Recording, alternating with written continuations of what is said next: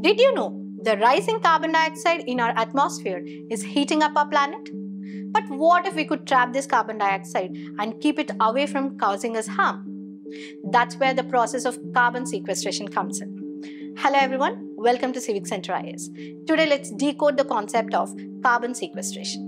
It is the transfer of atmospheric carbon dioxide into other pools in such a manner that it is not re-emitted into the atmosphere in the near future. And how does this work? Naturally, carbon sinks like the forests and the oceans absorb the carbon dioxide through photosynthesis and stores in its biomass and soil. Along with that, it is trapped deep in tracts of the rocks to prevent re-emission.